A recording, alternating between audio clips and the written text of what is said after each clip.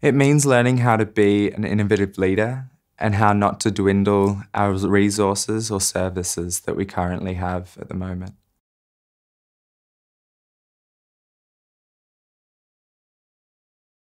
I see our current challenge in the mental health system is the silos that we have within our services locally um, and also nationally.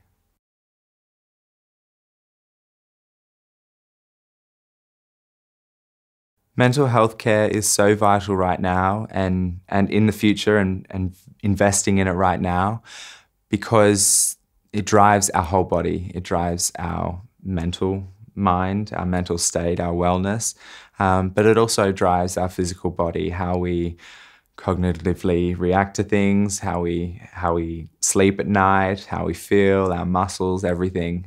Um, so it, it, it's our whole body. It's not just our mind. Uh, it it runs ourselves.